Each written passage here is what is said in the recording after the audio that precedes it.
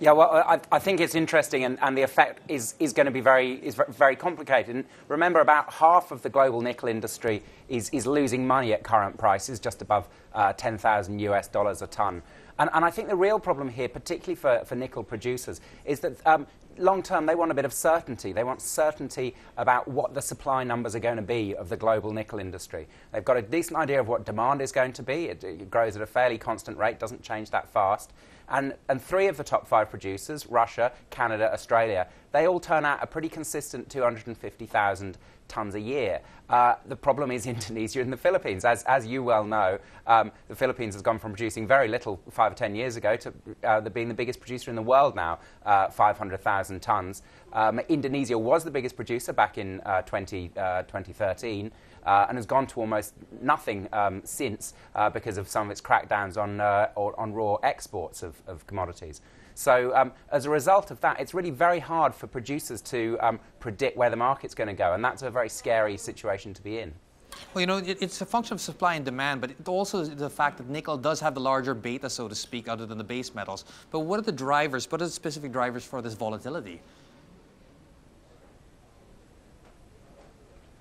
Well, I mean, it is the fact that you have, the, you have this great political uncertainty. Uh, uh, you know, Indonesia, as we said, um, a, a, few years ago, they, they, they banned uh, raw exports of ore, and that really caused a lot of the industry to pull back. Um, the, the, the, way you can get uh, raw ore out of Indonesia um, now, of course, is to build a smelter. But building a smelter is, is a, um, financing a smelter is a hell of a lot more challenging because the Philippines ramped up production, and that's pushed your that, that's pushed your supply up ahead of ahead of your demand curve. So why would you finance a smelter when when as we said, half of the industry is losing money. Uh, now, just as the Philippines looks like ramping down with all these, uh, all these uh, mine checks that are being carried out by, by the government, um, you're seeing Indonesia saying, well, we might actually um, allow a, a, a lower um, ore content, nickel content in the ore we export which will cause that supply to ramp back up again. So a lot of people who've been, um, uh, who've been sort of banking on building smelters in Indi- Indonesia to get ore out of the country, suddenly they're facing a, a, a vast flood of supply. And, and, you notice Vale, which is one of the biggest producers in Indonesia, they're actually complaining they don't want Indonesia to, to loosen the restrictions. Now, you, you talk about half the global industry being in duress, but talk, some are more affected than the others. Talking about this uncertainty, who will weather this volatility better than others, and which stocks stand out to you?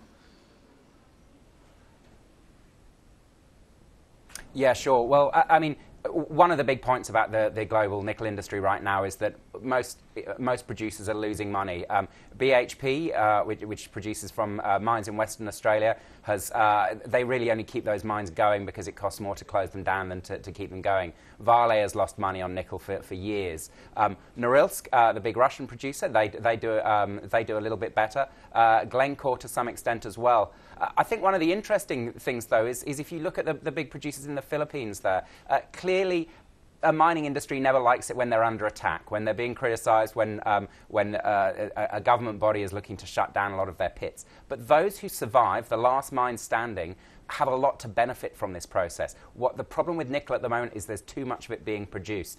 Uh, and if a lot of it is shut down in the Philippines, the Philippine mines that actually survive that process are going to be a lot stronger uh, than they were before. So in commodity markets, there's always these slightly paradoxical effects, and that's, I think, one that we, we can see going forward. David, finally, what's your outlook on the global mining industry as a whole by year end, and what signposts, apart from political risk, should we be looking for?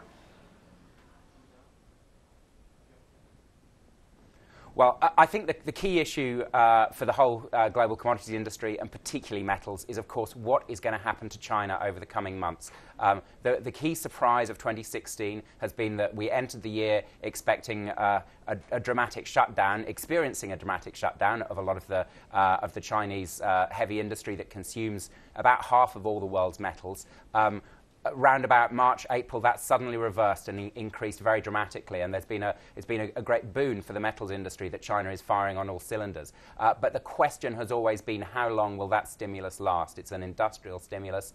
Is it, is it a long term factor in the Chinese economy uh, that will continue to play out? Or is it something that the, government's going to turn off the taps? My personal view uh, is that the, the structural drivers of this are going to keep it going for some time. Uh, but it's a, it's a nervous time for any commodity producer over the coming months.